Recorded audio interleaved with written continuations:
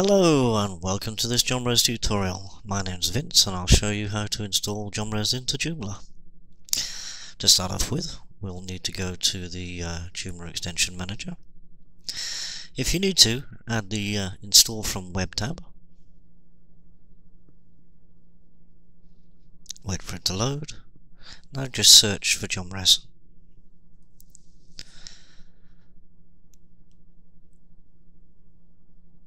Okay. Here, you can click the install button and that will install it straight from the web.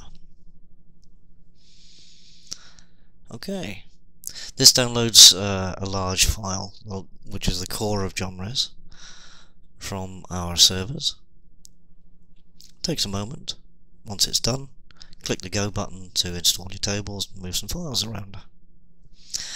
Okay, some rubbish here, just nice green letter saying it's installed, and you'll be taking auto taken automatically to the Jomres page.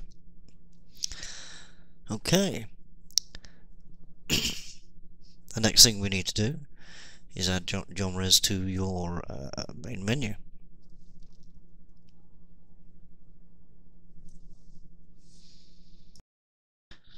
As you can see here, there's a whole variety of options to play with, but for now, don't touch any of them. Instead, let's add you to the uh, the Joomla main menu. Whoops, wrong page. Come on Vince, you can do it. there we go. Let's go find the right page. Okay, menu items, new. Scroll down, Jomres, choose, choose default, give it a title, something simple like bookings, and save.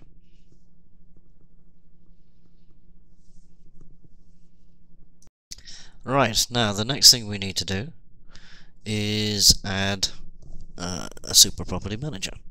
We've created one user in this uh, installation called Jomres, so we'll now search for that user. Click the drop down, this user is now created as a manager. We'll create them now as a super property manager. And then go to the front end. Go to bookings. As you can see, a very basic view at the moment.